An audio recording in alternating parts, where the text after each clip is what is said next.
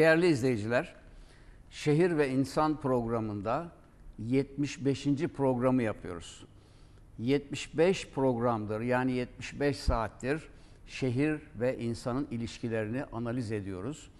Burada bir temel kavram üzerinde duruyoruz. Şehirler ve insanların ilişkileri bir toplumun kalkınması için, gelişmesi için çok çok önemli. Yani aslında bütün yaşamımızın geçtiği bu şehirler, bu yaşadığımız mekan, ortam çok çok önemli. Onun için bunu basit anlamda bir belediyecilik sorunu olarak görmemek lazım. İnsanlar, insanlık tarihine baktığınızda yaratılışından itibaren bir takım temel ihtiyaçları var. Bunların başında barınma geliyor. Biliyorsunuz tarih öncesinde barınma mağaralarda yani doğal olarak e, coğrafyada kendilerini koruyabilecek mağaraları keşfetmişler. Gitmişler orada yaşamışlar. Tabii ikinci ihtiyaç gıda. İnsan beslenmeden yaşayamıyor. Barınmadan sonra gıda ihtiyacını da işte taşlarla, sopalarla vesairelerle hayvanları öldürmek suretiyle onların etlerini yiyerek karşılamışlar. Daha sonra yani tarih öncesinden sonraki e, antik dönemlerde ise yavaş yavaş tarımı keşfetmişler. Yani topraktan, bitkilerden ve ağaçlardan insanların beslenebileceğini keşfetmişler. Bu beslenme bir tarımsal üretime dönüşmüş. Yani tarlaları ekip biçmeye başlamışlar. Meyveleri daha organize biçimde kullanmaya başlamışlar. Tabii ki meyve ve tarladan elde edilen ürünler ömrü sınırsız değil. Kısa bir ömrü var. Yani bir kirazı topladığınız zaman, bir şeftaliyi topladığınız zaman en fazla bir hafta on gün. Yani eskiden soğuk hava depoları da yoktu, onu da düşünün. Dolayısıyla bunların ticareti başlamış. Adam topluyor ürününü, bakıyor ki kendi ihtiyacının 10 katı ürün var. Yandakiyle takasa giriyor. Yani bir ticaret başlıyor, böylece ekonomi başlıyor. Yani insanın temel dürtülerinden bir tanesi, yaşamın temel amaçlarından bir tanesi ekonomi. Ekonomi size yaşam şartlarınızı geliştirmek gibi bir katkısı var. Yani huzuru getiriyor, refahı getiriyor, mutluluğu getiriyor, kalkınmayı getiriyor. Ekonomi bunu temsil ediyor. Ama barınacak yerinizi ve aldığınız gıdaları ekonominiz geliştikçe daha da güzelleştiriyorsunuz. Yavaş yavaş şehirler kurmaya başlıyorsunuz. Hakeza antik dönemde tarlalarında barınma ihtiyacını karşılayacak şekilde damlar, sazdan şundan bundan yapmışlar. Fakat bakmışlar ki kurda kuşa karşı bir tarlanın başında bir insan çok korumasız. Üçü beşi bir araya gelelim de şu etraftaki tarlaları birlikte kontrol edelim demeye başlamışlar. İlk şehir fikri öyle doğmuş. Bunlara höyük diyoruz. Aydın'da da var. Mimar Sinan Mahallesi'nde şöyle bir tepe var. Deştepe Höyüğü dediğimiz höyükler kurulmuş. Yani dünyanın şehircilik tarihinde ilk kurulan şehirler höyükler. Aydın'da 300 küsür bilinen höyük var. Tabii höyükler küçük birimler, 3 aile, 5 aile çevresindeki tarımı kontrol ediyorlar. Bir başka höyükle ticari ilişkilere giriyorlar vesaire. Bu ilişkiler geliştikçe, yani insan kendisini geliştirdikçe ne başlamış? Bu höyükler arasındaki ilişkilerden sürtüşmeler başlamış, kavgalar başlamış. Bir höyük gitmiş öbürünü işgal etmiş vesaire derken güçlenmek adına, kontrolü elinde tutmak adına yavaş yavaş devlet fikri oluşmuş. Ve devlet kurmuşlar. Devleti nerede kurmuşlar? Şehirde kurmuşlar. Bunların adına şehir devleti diyoruz. Yani devlet şimdiki gibi koca bir kıtada, koskoca alanlarda kurulan Türkiye Cumhuriyeti gibi, Fransa gibi, Almanya gibi çok büyük alanlarda devletler kurulmamış. Küçücük bir şehrin içinde bir devlet kurmuşlar. Şehir devletleri. Sonra ne başlamış? Şehir devletleri arasındaki ekonomik yarış, kavga. Bunlara artık savaş demeye başlıyoruz. O kavga boyutundan çıkıyor. Şehirler savaşmaya başlıyorlar. Ve bunların içinden bir tane güçlü çıkıyor. Büyük İskender tabir edilen kişi gibi bir yürüyor, büyük bir ordu kuruyor. Bütün şehir devletlerinin hepsini işgal ediyor. Bunun adına ne diyoruz? İmparatorluk diyoruz. İmparatorluklar kuruyorlar. Hepsinin başında mağaradan başlayan, höyükten devam eden, şehir devletleriyle Tralleis antik kenti gibi, Magnezya gibi, Millet gibi, Pirien gibi, Nisa gibi, Afrodisyas gibi şehir devletleri neye dönüşüyor? Büyük devletlere, imparatorluklara dönüşüyor. Yani dünyanın tarihine bakarsanız dünyadaki ekonomik gelişmeye dayalı olarak insanların bütün ilişkilerini tayin eden işte bu yaşadığımız mekan ve o mekanın bize verdiği olanaklar. Biz bugün 21. yüzyılda ilk çeyreğini neredeyse devirdik. Hala Türkiye'de bir belediyecilik anlayışını oturtamadık. Ülkemizdeki belediyeciliğin önemi diğer bütün ülkelere göre çok farklı. Çünkü gelişmiş ülkelerde şehirler çok fazla büyümüyor. Birkaç tane Amerika Birleşik Devletleri vesaire Çin filan gibi nüfusu hızla artan en az bizim kadar artan ülkeler var. Ama çoğunda nüfus artışı artık hemen hemen durmuş. Bugün Almanya'da, Romanya'da, Bulgaristan'da hatta Yunanistan'da artık şehirler büyümediği için bir sıkıntısı yok. Belediyeyi yönetmek kolay. Yani yeni mahalleler kurulmuyor, yeni binalar yapılmıyor, yeni altyapı ihtiyacı yok. Artan nüfusun su ihtiyacını karşılamak için su kaynakları araştırmanıza gerek yok. Ama bizim gibi hızla e, nüfusu artan, özellikle kırsal kesimdeki nüfusun şehirlere hücum ettiği, şehirlerin nüfusunun misli misli arttığı ülkelerde şehirler bir türlü yerinde duramıyor. Yani Türkiye'yi bir belediyecilik örneği yaratacaksanız dünyanın hiçbir yerindeki örneği Türkiye'ye alıp uygulamaya kalkmayın. Türkiye'de belediyecilikte yani şehir yönetiminde iki tane temel unsur var.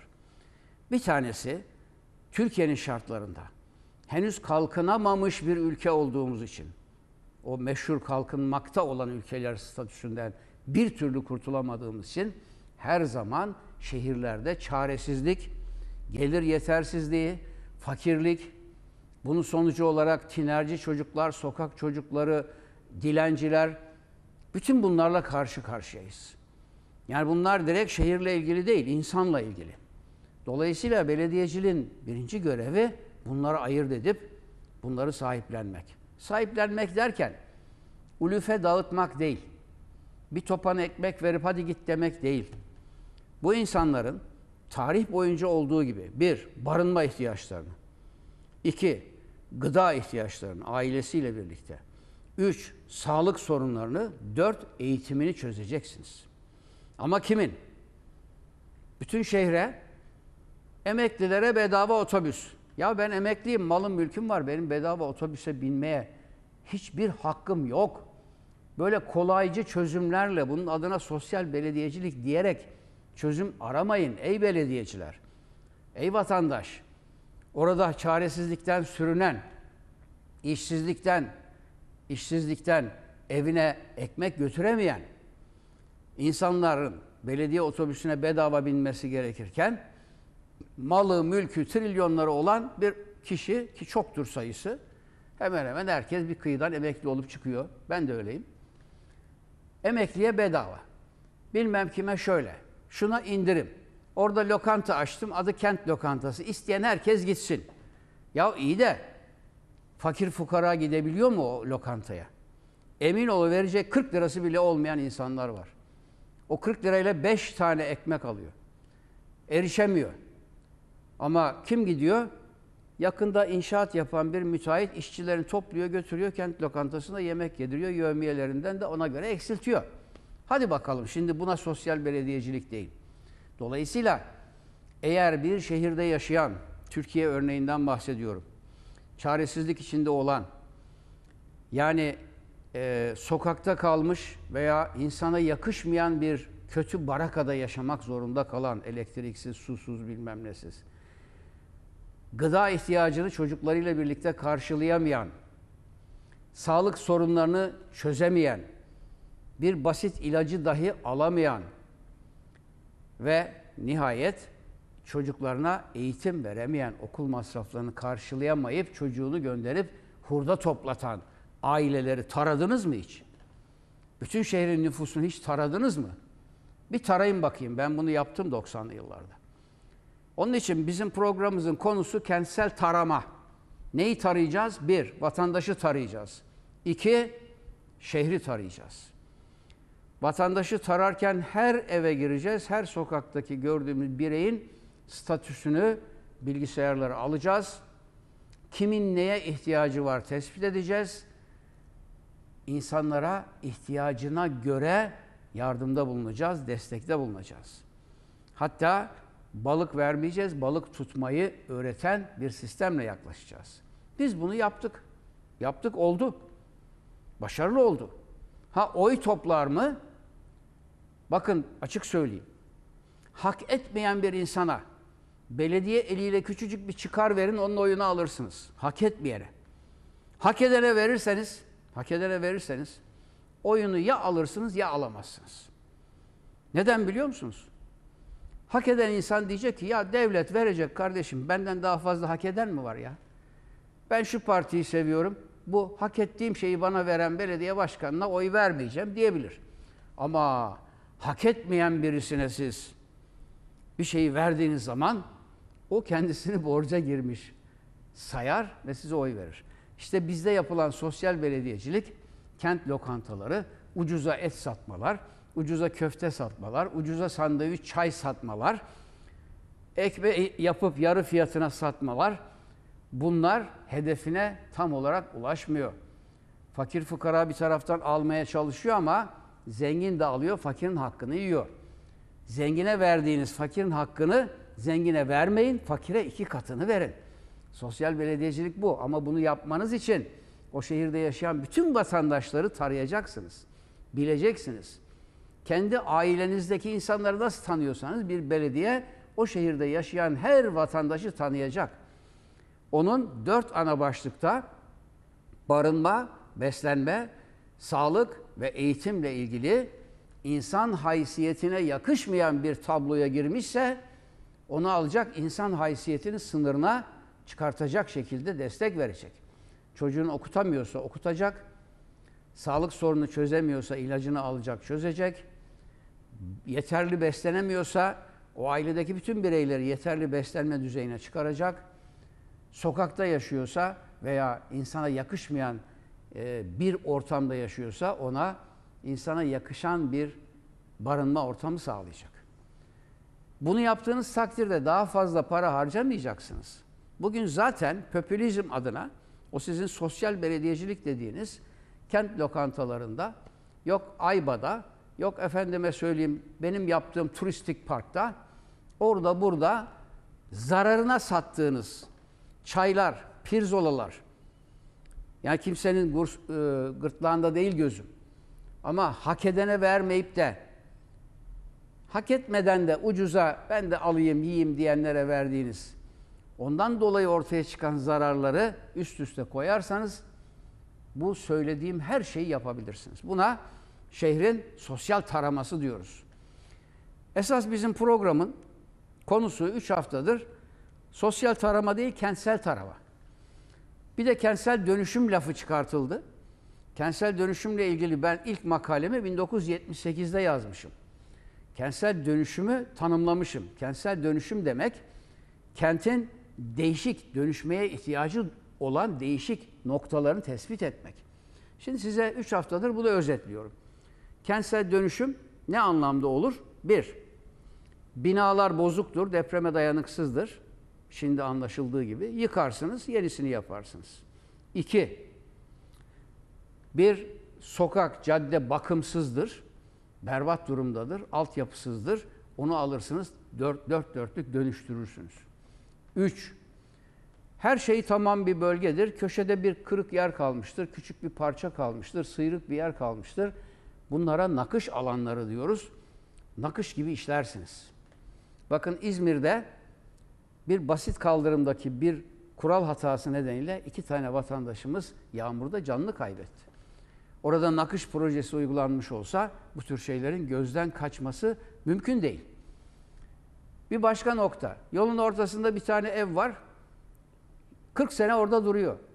Ya o yolu temizleyin, açın. Bunlara kara nokta diyoruz. Şehrin bozuk bir mahallesi var. Aydın'da örneği olduğu gibi e, işte bundan 25 sene önce başlattık. Torlak Mahallesi. Yunanlı'nın Aydın'ı yakıp yıktığında dokunmadığı tek mahalle 1915'lerde kalmış, 18'lerde kalmış mahalle. Dedi ki bunu bölge olarak, kara bölge diyoruz. Temizleyelim, tasfiye edelim. Yani kentsel dönüşümün evrelerini anlatıyorum. Bir başka unsur, şehre zarar veren, şehri rahatsız eden büyük tesisler. Mesela ben göreve geldiğimde Aydın Tekstil'in fabrikasından, bacasından çıkan baca Orta Mahalleyi, Cuma Mahallesi'ni rahatsız ediyordu. Diyorlardı ki bunu buradan kaldırın. Biz onu taşımak için proje yaptık. Birazdan kısaca değineceğim. Veya Tariş, Cumhuriyet Mahallesi'ni tozdan, topraktan geçilmiyordu. Kemer Mahallesi'nde bir genel ev vardı. Yani mahalle genel ev ile anılıyordu. Buna benzer Meşrutiyet Mahallesi'nde TEDAŞ'ın bir deposu vardı. Her sene 3-5 tane çocuk yaralanıyordu direklerin üstünde oynayacağım diye. Şehrin tam ortasında bir cezaevi vardı. Okulların tam ortasında. Lisenin e, bah, şeyinden penceresinden cezaevinin avlusu görünüyordu. Üstelik kız lisesiydi. İşte bunlara da kentsel defekt diyoruz. Ekrana alabilir miyiz e, sunumumuzu? Evet. Yansıtmamız tamam. Şimdi e, dönüşümden kastettiğimiz bakın 1994'te bir sokak Ata Mahallesi'nde bunu geçen hafta gösterdik. Daha sonra bu şekilde dönüştürülmüş. Dönüşüm bu. Yani oradaki binaları yıkıp yapmamışız sadece. İşte orada binalar duruyor. Sadece onları yıkıp yapmamışız. Altyapı götürmüşüz. Parselasyonunu yapmışız. Kadastrosunu düzenlemişiz. İmar planlarını yapmışız. Jeolojik etütlerini yapmışız. Elektrik direği görebiliyor musunuz? Tüm elektrik yer altına alınmış, PTT yer altına alınmış, kanalizasyon şebekesi kurulmuş, arıtma tesisine gönderilmiş, ondan sonra bina yapılmış. Sağlam bina yapılmış. Dönüşüm bu. Hakeza bakın Aydın'dan 1993 görüntüleri. Ya şimdi Aydın şehrinde böyle bir şey yok. Bunları bırakmadık. Taradık. Şehri tarayın. Şehri milim milim tarayın. Bakın böyle görüntüler olan bir şehirdik biz. Bu şekilde yıkılmış taş binaların yıllarca, yıllarca bekletildiği, ben bu alanı biliyorum, yıllarca bu alan böyle kaldı. Yerine park yapıyorduk mesela. Diyorlardı ki, park parklar tinerci yatağı oldu. İyi güzel de yani şu halde kalsa tinerci girmeyecek mi? Yani sen park yapıyorsun, ağaç dikiyorsun, bank koyuyorsun, çocuk oyuncağı koyuyorsun. Akşam çocuğunu oraya götürmüyor. Bir tinerci gidiyor, orada tiner çekti diyor. Başlıyor şikayete. Ağaç dikti diyor, hırsıza merdiven yaptı diyor. Siyaset böyle bir şey. Muhalefet etmek istedikten sonra bahane çok. Bunların hiçbirini aldırmadık. Bütün bu tabloları değiştirdik ve dönüştürdük. Bakın, böyle bir sokak var mı ya? Bizden önce gelmişler, direkse direği dikmişler. Bakın şu direk PTT direği, ahşap. Öbür direk elektrik direği. Kaç tane direk var orada görüyor musunuz? Şurada bir ağaç var, kenarına bir de kafes yapmışlar, kaldırım yok. Burada kaldırım var, kırılmış, parçalanmış. Yani böyle bir şehircilik olamaz. Bu hasbel kader, tesadüfen yapılmış işler bunlar. Şehri tararsanız, sokak sokak tararsanız her noktasını güzelleştirirsiniz. Burası e, Mesudiye Mahallesi. Yani e, görüntülere bakın. Burası Zafer Mahallesi. Şimdi kentsel defekleri geçen hafta anlattık. Kısaca onlar üzerinden tekrar geçelim ve ondan sonraki projelerimizi anlatmaya çalışalım. Kentsel defekt dediğimiz şehre bütünüyle zarar veren, yani şehrin bir bölgesinde büyük bir tesis etrafına zarar veriyor. Taşınmasında veya kaldırılmasında ya da dönüştürülmesinde fayda var. Yani böyle bir tesisi yıkacaksınız, yerine doğru bir iş yapacaksınız. Böyle bir tesisi yıkmayacaksınız, restore edeceksiniz, başka bir fonksiyon vereceksiniz. Öyle bir tesis eğer bir fabrika ise, kullanılan bir tesis ise onu kaldıracaksınız. Mesela cezaevi. Yani cezaevini yıkıp da mahkumları sokağa salacak halimiz yok. Taşıyacağız. Dolayısıyla üç çeşit kentsel defeklerde çözüm var.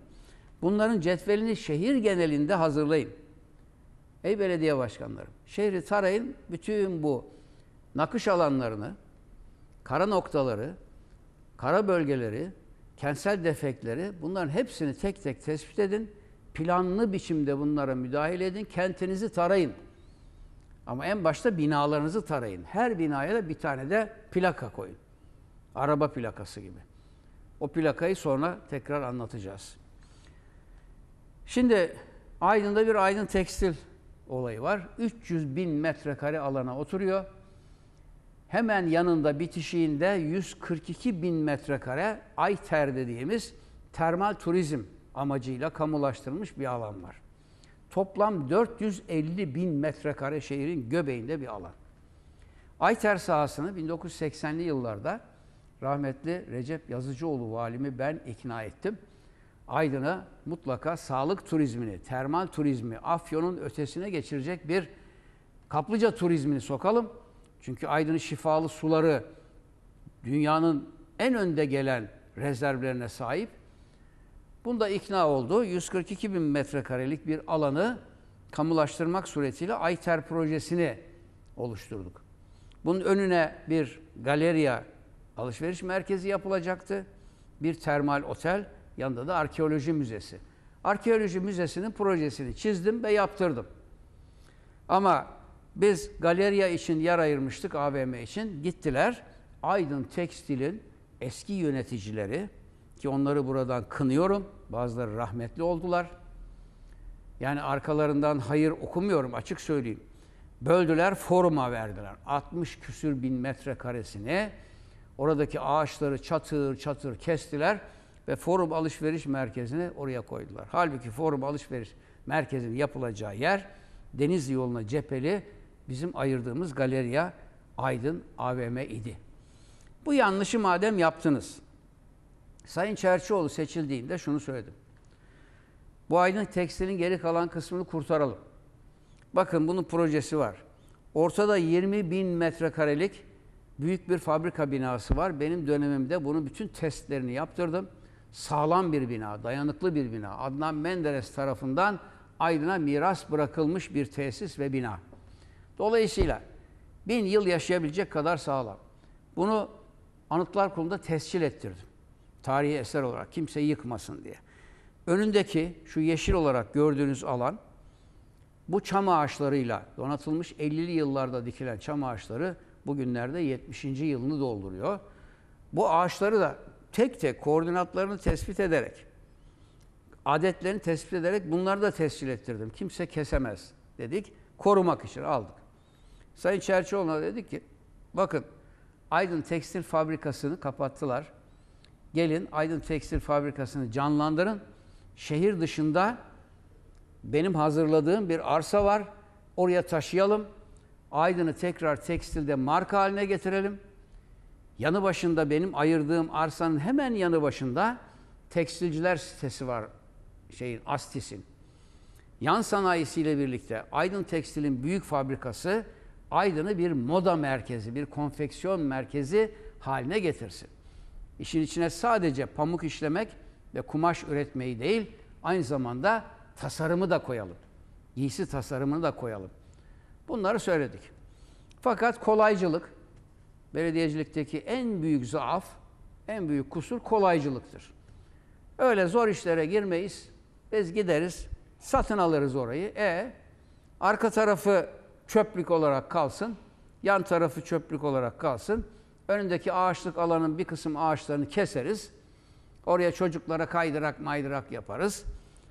Ana binanın içine de uydur kaydır ne bulursak doluştururuz. Bakın ana bina bir kongre merkezi olacaktı. Üniversitemiz bu kongre merkezinden yararlanacaktı. Ona tahsis edecektik. Yine üç tane termal otel. Her biri 1500-2000 yataklı. Aydın'ın tam göbeğinde düşünebiliyor musunuz? Yaklaşık 7 bin, 8 bin yatak kapasitesi olan, 7-8 bin yatak kapasitesi olan 3 tane termal otel yapılacaktı. Bunun bir tanesi Ayter sahasına, arkeoloji müzesinin hemen yanına. Bir tanesi şu anda çöplük durumunda olan, bakın burada ana binanın kuzeyinde şu anda çöplük orası. Üçüncüsü de henüz ağaçlandırılmamış olan Tatar Mahallesi tarafında üç tane otel. Geriye kalan alan şimdiki gibi park olarak değerlendirilecekti. Ön taraftaki ve kongre merkezi yapılacaktı. Hanımefendi gitti, parayı bastı. O günün parasıyla 300 milyon lira para ödedi. Belediyenin bütçesinin tamamını buraya yatırdı. Şimdi Aydın Tekstil üzerinden popülist siyaset yapmanın peşinde. Aydın halkına sağlayabileceği ekonomik katkılar, sosyal katkılar, kültürel katkılar hepsi çöpe gitti. Sadece ve sadece çoluk çocuk gitsin oynasın. Ya bizim projede de çoluk çocuk zaten gidip oynayacaktı. Zaten orada sizin yaptığınız gibi konserler, şunlar bunlar hepsi yapılacaktı. Ama Aydın'ın dört tane yerel müzesi olacaktı. Yerel kıyafetlerin tanıtıldığı, yerel sanayi makinalarının tanıtıldığı, yerel e, e, eşyaların tanıtıldığı ve Aydın'ın tarihinin tanıtıldığı dört tane müze o 20 bin metrekarelik alana açılacaktı. O müzelerin müşterileri de yani ge- gezmek üzere gelen insanlar kongre turizmine katılan insanlar olacaktı. Kongre turizmi oradaki 7 bin yatak kapasiteli otellerden beslenecekti. Bütün dünya gelecekti Aydın'da kongre yapalım. Niye? Aynı zamanda kaplıca var ya. Önde yem yeşil alan var, eğlence var, alışveriş var, her şey var. Müşteri böyle çekilir. Öyle oturduğunuz yerden. Bakın ben hatırlıyorum 2009 seçimine biz Sayın Çerçioğlu ile birlikte girdik. Gitti e, merkezde, çarşıda bir otobüs turist kiralamış bir yerden. Nasıl bulduysa bilmiyorum. Turistlere para mı verdi? Kayınpederinin parasını. Getirmiş. Ben Aydın'a turizmi getireceğim. Hani nerede turizm arkadaş? 20 sene bu Aydın'a bir tane turist sokamadınız. Söylediklerimizi dinlemediniz. Aydın tekstil ve Ayter kombine edilmek suretiyle Aydın'daki termal turizmin yatağı olacaktı. Daha da büyüyecekti. Yılmazköy'e doğru oteller zinciri çoğalacaktı. Aydın dünyanın sağlık turizmi, kongre turizmi merkezi haline gelecekti. Her gün, bakın burada 7 bin yatak kapasitesi var. Bu projenin nihai hedefi 20 bin yataktır. 20 bini bırakın 7 bin yatak dolduğu takdirde 7 bin tane turist bu Aydın çarşısına gittiğinde o Aydın'daki esnafın yüzünün nasıl güleceğini, Aydın'daki işsizliğin nasıl önleneceğini, Aydın ekonomisinin nasıl şaha kalkacağını gözünüzün önüne getirin. Neler kaybettiğimizi düşünün. İşte bir tane kentsel defekt ya. Kentsel defekti anlatıyorduk. Kenti taradık, bir tane defekt bulduk, bozuk yer bulduk. Bu bozuk yerden neler çıktı? Kalkınma çıktı, refah çıktı, huzur çıktı, turizm çıktı vesaire. Bakın işte şu anda çöplük, buraya termal otel olacaktı. Şu andaki durumu bu. Yani böyle bir şey olamaz. Bakın şu ağaçların olduğu yere de forum alışveriş merkezini yaptılar. Yani böyle bir şey yok. Bu da e, Aydın Tekstil'in taşınacağı Astim Organize Sanayi Bölgesi'nde ayırmış olduğumuz alan. Allah'tan bu alanı Aydın'ın çok e, yetenekli, çok başarılı bir sanayicisine sattılar. Yani sattılar, parasını ceplerine koyup reklama harcadılar. Allah'tan sağa sola gitmedi, akıllı bir sanayiciye gitti. Bakın çizmiş olduğunuz fabrika buydu. Bu bir dünya devi olacaktı. Aydın Tekstili Menderes'in e, bıraktığı bu mirası en iyi biçimde değerlendiren çözümler üretmiştik. Ya bunları niye yapmıyorsunuz arkadaş?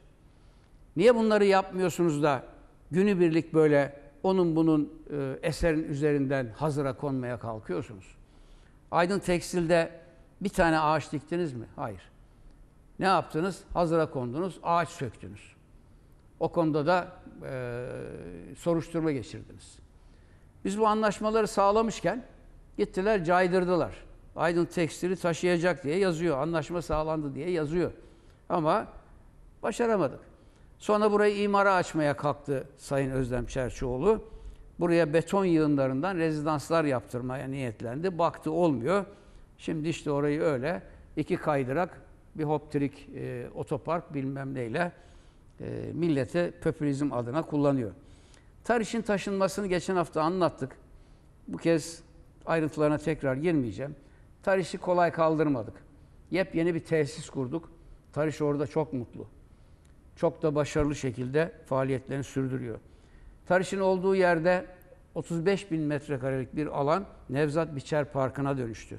İşte gördüğünüz park oluştu. O yıktığımız fabrikadan.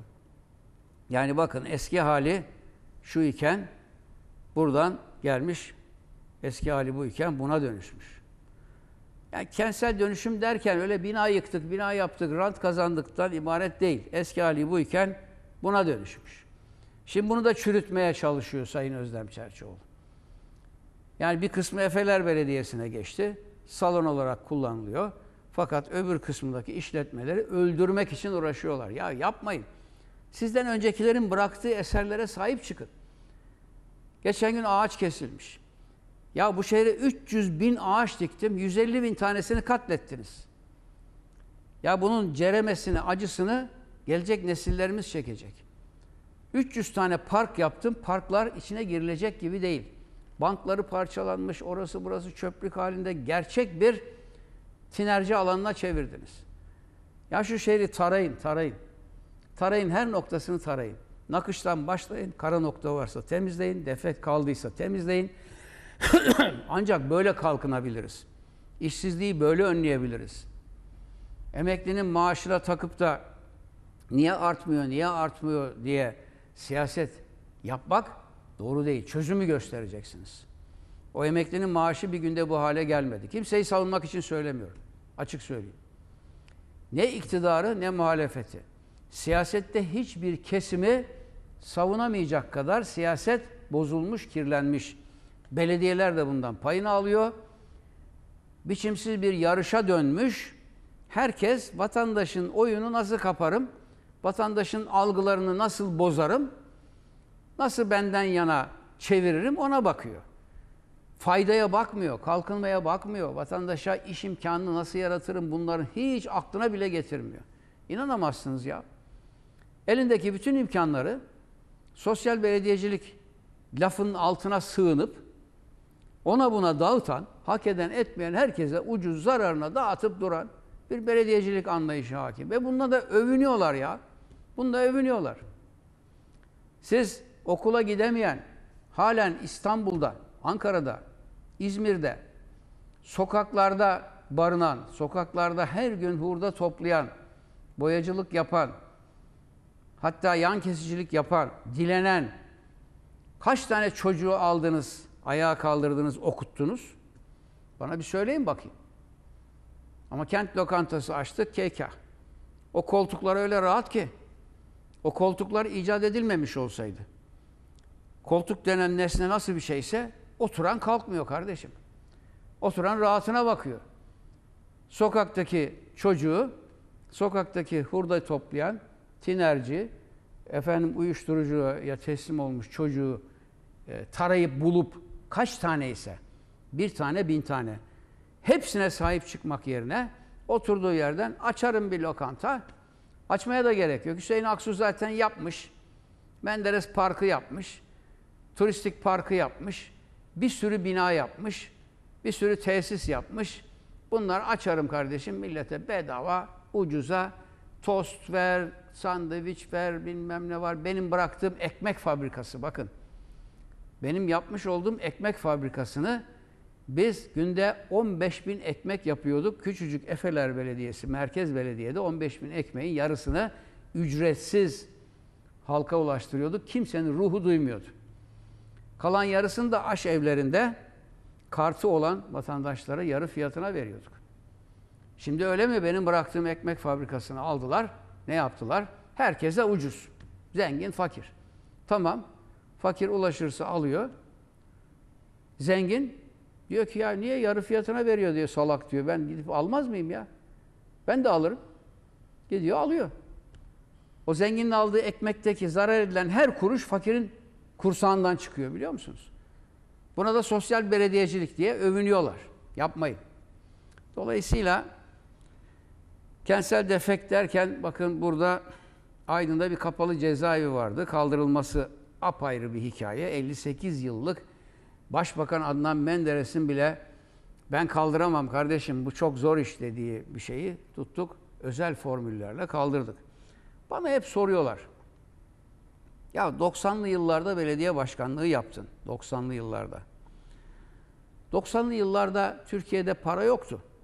Belediyelerde hiç yoktu. Merkezi idarede de yoktu. 94 yılında ben seçildim siyasete ilk girdiğimde Tansu Çiller başbakandı. Çiller krizi diye bir kriz yaşandı. Bugünkü krizden beterdi.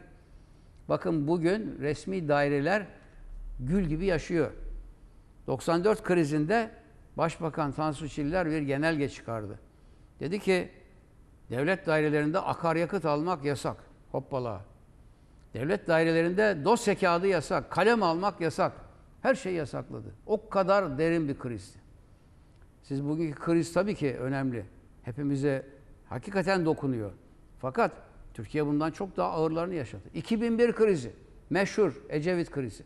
Biz o dönemlerde yaptık. Bana soruyorlar nasıl başar?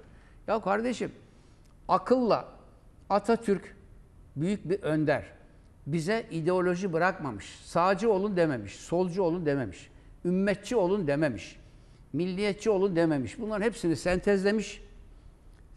Bir yaklaşım benimsemiş. Demiş ki size bıraktığım tek bir miras var. Akıl ve bilim. Hayatta en gerçek yol gösteren bilimdir kardeşim. Bilime yapışın, aklınızı kullanın. Bir de hedef koymuş size. Hedef. Bütün ülkelerin önüne geçin. Muasır medeniyetin önüne geçin demiş ya. Bu kardeşim bunu yapın. Aklınızı kullanın, bilimi kullanın. Bırakın siyasete onu bunu şunu sizin önemli değerlerinizi alet etmeyin. Benim milliyetimi alet etmeyin. Benim dinimi alet etmeyin. Atatürk'ü alet hiç etmeyin. Atatürk'ün bırakmadığı sonu izimle biten bir Kemalizm diye ortaya çıkmayın. Akıl bırakmış. Akılizm diye de bir şey yok. Akıl var. Akıl var, bilim var. Bilimizm diye bir şey de yok. Çünkü bunlar ideoloji değil. İdeolojilerin tarihçesine bakarsanız insanları kitlesel olarak kandıran, insanları kitlesel olarak bir fikir silsilesi içine sokup taraftar bulan ve devletleri ele geçiren sistemlerdir ideolojiler. İdeolojilerden uzak durun. Adı ideal diye başlar. Hiçbiri ideali yakalayamamıştır. İdeali yakalayacak olan Atatürk'ün teşhis ettiği gibi akıl ve bilimdir. Bunun dışında hiçbir şeye itibar etmeyin. Bizim başarımızın sırrı da buydu. İki tür, ben belediyeyim, benim bir şehrim var. Sokak sokak, kaldırım kaldırım, yerin altı, üstü, direk direk, ağaç ağaç, park park, bina bina benim şehrim. Ben sorumluyum. İki, bu şehirde o zaman 150 bin insan yaşıyor. Benim vatandaşım, benim insanım. 150 bin insanı taradım. Hepsinin durumuna baktım. Kimin neye ihtiyacı var tespit ettim. 5 bin tane çocuk okuttum. 10 binlerce aileye sıcak yemek verdim. Kimsenin ruhu duymadı. Giysi dağıttım. Sokakta kalanlara ev buldum. Gidin Ilıcabaşı'na hala benim yaptığım evlerde oturan vatandaşlarımı görün. Bunları yaptım. Ha neyle yaptım? Para yoktu. İmeceyle yaptım. Zenginden gittim, rica ettim, bağış aldım. Kendi şahsi mal varlığımdan bakın abartmıyorum yüz milyonlarca dolar para harcadım, yaptım. Ucuza mal ettim. İhaleleri kimselere peşkeş çekmedim. Derenin taşıyla derenin kuşunu vurdum. Böyle yapın. Şehri tarayın, insanları tarayın. İnsanları tarayın. Şehri tarayın. Her anlamda nokta nokta, birey birey yapılması gereken ne ise uygulamada tasarruf ederek, hayırseverlerden destek alarak, ucuza mal ederek, yandaşlarınıza ihaleleri peşkeş çekmeden, halkın parasını çarçur etmeden bunların hepsini yapabilirsiniz. Diyeceksin ki yok ya toprağa sıkıp altın mı çıkardım? Evet öyle yaptım. Aydın'ın toprağının bir takım imar rantlarını yarattım. İmar rantının yüzde seksenini vatandaşa verdim. Adam zengin oldu. Mimar Sinan Mahallesi'ne gidin bakın. Bugün Ata Mahallesi'nde bile, Osman Yozgatlı Mahallesi'nde, Fatih Mahallesi'nde, Zeybek Mahallesi'nde benim çizdiğim imar planları sayesinde zengin olmuş eski tarla sahipleri, arsa sahipleri var. Zamanda bana küfür ettiler, tüfekle kovaladılar. Benim arsamın yarısı ziyan oldu, yola gitti, yeşil alana gitti, okul olmuş, bilmem ne olmuş. Hepsi hikaye. Hepsi zengin oldular. Kentsel rant bu. Kentsel rant kötü bir şey değil. Para, değer. Bunu hak eden kimdir? Vatandaştır. Hepsini mi hak ediyor? Hayır. Yüzde seksenini ona, yüzde yirmisini belediyeye yazdım. 7 bin tane arsa ürettim belediye adına. Benden sonra sata sata bitiremediler. İşte kentsel defekt, kentsel tarama, kentsel dönüşüm, ekonomik kalkınma, belediyecilik. Yani bunları söylerken, bunları anlatırken kimse bunları böyle hikaye gibi lütfen dinlemesin. Bir özü var. Çok basit. Tekrar ediyorum. Şehri alın. Kaç insan yaşıyorsa tarayın ya. Elinizde e, imkan var. Personeliniz var. Organize edin. Kuralları koyun. Ha nasıl yapacağınızı bilmiyorsanız kentsel tarama yönetmeliği diye bir yönetmelik var bende göndereyim. Sosyal tarama yönetmeliği var. Sosyal taramayı yaparken belediye personeline de ihtiyacınız yok. O kadar çok gönüllü kuruluş var ki zamanında benim eşim Aslı Ulaş Aksu bir kadın platformu kurdu. Yani benim isteğimle. Kadın platformu öyle e, sıradan bir dernek falan değil. Bütün dernekler bir araya geldiler. Bir kurallar zinciri, bir protokolü vardı. Bir yönetmeliği vardı. Kadın platformu nasıl çalışacağını tek tek yazmıştık. Yazdığımız o kurallara göre 5 kuruş ücret almadan yüzlerce hanım Aydın şehrinde ev ev dolaştılar, tespitleri yaptılar. Bilgisayarlara girdiler. Kimin neye ihtiyacı olduğunu tespit ettiler. Bunları yapabilirsiniz. 5 kuruş harcamadan yaptılar. Daha sonra bir e, sosyal yardım merkezi açtık. Herkes oraya bağış yaptı. Eski yeni eşya getirin dedik. Giysi getirin dedik. Ayakkabı getirin dedik. Yenisini de getirdiler. Eskisini de getirdiler. Orada vatandaşa dağıttık. Bakın bunlar için bütçeye ihtiyacınız yok. Ama kolaycılık var. Belediyenin parasıyla git İzmir'den et satın al. Burada et fabrikan varken İzmir'den eti satın al. 500 liraya al, 400 liraya sat. Zengin de alsın, fakir de alsın. Fakir Allah razı olsun diyor ama esas fakir o 400 liralık eti de alamıyor. Esas fakir 400 liralık o senin zarar ettiğin eti de alamıyor. Sana düşen görev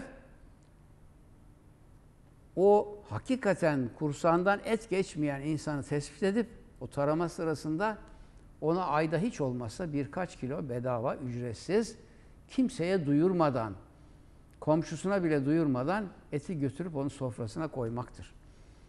Biz bunları yaptık. Ha yaptık da ne oldu? Tabii ki bu oya dönüşmedi bir şekilde.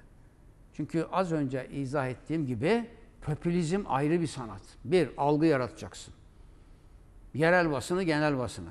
Parasını vereceksin, senin lehine doğru yanlış haber yaptıracaksın, algı. İki, reklam panoları yaptıracaksın. Her gözün önüne gelen de senin yüzünü sanki çok başarılıymış gibi oraya uydurma rakamlar yazacaksın. Şunları yaptık, bunları yaptık, binlerce kilometre yol yaptık. Vatandaşın algılarıyla oynayacaksın. Oy almak için bu. Bir de çıkacaksın belediye meydanına. Koca bir konser yapacaksın. Gençleri tavlayacaksın. Çıkacaksın başkalarının yaptığı kafeteryalarda ucuz efendim çay satacaksın. Sandviç satacaksın. Kitlesel olarak oy toplayacaksın. Buna oy avcılığı diyoruz. Buna sosyal belediyecilik demiyoruz. Şimdi sunumumuzda araya laf girdi. Aydın Genel Evi'nin kalkışı Aydın'da tarihsel bir olaydır. Bakın burada yine Genel Evin yıkılışından enstantaneler var. Bunun hikayesi de apayrı bir hikaye. Bu Genel Evin olduğu yer şimdi Turgut Özal Bulvarı oldu. Bakın orada kargaşaya bakın. Ve buna dönüştü.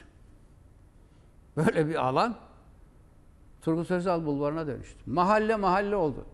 Mahalle artık Kemer Mahallesi genel evle anılan bir mahalle olmaktan çıktı. Tenekeli mahalle olmaktan çıktı. Aydın'ın en modern mahallelerinden birisi oldu. Girne, Kemer, Mimar Sinan mahalleleri. Yani dolayısıyla bu genel evi yıkmak kolay bir şey değildi. Ha para işi değil bakın. Para işi değil. Riskleri var. Sorunları var. Bir genel ev kaldırmak hiç kolay bir şey değil. Bu yüzden benim çocuğum kurşun, kurşunlandı ya. Yani o insanlarla uğraşmak, onları taşımak. Yani şimdi abes olacak belki ama biz genel evi yap, işlet devlet usulüyle yaptırdık. Yani şimdiki tabirle müşteri garantili falan değil. Yap işlet devlet usulüyle birbirine bitişik genel ev binaları yapılacak. Efendim 16 tane e, iş sahibi geldiler dediler ki ayrı ayrı nasıl yapacağız binalar bitişik. Dedik ki bir fona para koyun ben bir taşeron seçeyim o size kaba inşaatı yapsın. İncesini de ayrı ayrı yaparsınız. Doğru mu? Gidin bakın Aydın'ın benim yaptırdığım genel ev e, Astin'de duruyor. Öyle bir kapalı sistem ki kimse varlığını bile bilmiyor. Çevresinde olumsuz hiçbir etkisi olmayacak şekilde projelendirildi. Ama inşasında belediyeden para harcayamazdım. Harcasam laf ederlerdi. Arsasına para veremezdim. Arsasını başka bir usulle edindik. Binasını da yap işlet devletle yaptırdık. Daha sonra da o yap işlet devletle yapılan yerler satılıp belediyenin kasasına bir de para girdi. Dünyanın parası girdi. Yani bunlar usul aynı. Yap işlet devlet. Ama üslup farklı. Bakın ben yap işlet devlet usulüyle müşteri garantisi fikrini Türkiye'de 1997 yılında ilk kez ben uyguladım. Yani diyeceksiniz ben ben ben deyip durma ya sinir oluyorum diyeceksin. Bakın bunları kendimi övmek için, herhangi bir siyaseti öne çıkarmak için değil. Belediye başkanlarımıza, Türkiye yönetenlere örnek olsun. Vatandaşımız da bunları dinlesin, gerçeklerin farkına varsın. Yani yap işlet devlete karşıyız demesin. Müşteri garantili yap işlet devlet nasıl yapılabilir? Eğer doğru üslupla yaparsan müthiş bir kamu yararı çıkabiliyor. İşte örneği, örnek vereceğim size. Rahmetli Sami Pek Güzel abim. Çok iyi bir insandı. Bana geldi dedi ki ben çok hayırsever işler yapıyorsun. Ben etkileniyorum. Ben de bu işin içinde olmak istiyorum. Ne yapabilirim dedi. Dedim ki abi sana bir tane aşevi vereyim. Yap işlet devret. Yap işlet devret aşevi. Ama müşteri garantili. Müşterisi benden. Aşevini yapacaksın, işleteceksin. 20 sene sonra belediye devredeceksin. 20 sene boyunca ben sana müşteri göndereceğim. Para almadan doyuracaksın. Al sana müşteri garantili yap işlet devlet. Hadi bakalım bir karşılaştırın bunu. İşte böyle. Yani e, bir şeye karşı olurken usule, adaba, uygulanış biçimine, içinde hırsızlık varsa ona karşı olun. Evinize hırsız girdi diye evi satmaya kalkmayın. Eve hırsız giriyor, gidelim mağarada yaşayalım anla, anlayışına kapılmayın. Yani insanlar devlette ihale ve inşaat yapım usullerini oynamak suretiyle menfaat ve çıkar elde ederler. Köprüye karşı olmayın. Tünele karşı olmayın. Tünelin içinde hırsızlık varsa ona karşı olun. Gidin bulun, araştırın o hırsızlığı. Dolayısıyla değerli arkadaşlar tekrar alabilir miyiz? Ee, çıktı mı acaba şeyden? Maili inhidamlar var. Evet.